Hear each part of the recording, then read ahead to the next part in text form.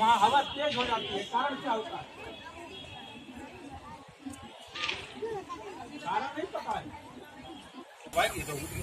कि यदि कोई भी आदमी दीपावली में आतिशबाजी करता है तो सुरक्षित आतिशबाजी करे।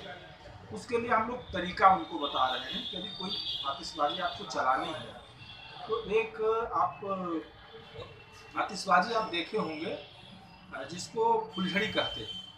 फुलझड़ी को हम पाँच पाँच फीट के डंडे में लगा देते हैं और उससे किसी भी पटाखा को जब हम छोड़ते हैं तो हमारे पास विस्फोट होने का खतरा कम हो जाता है।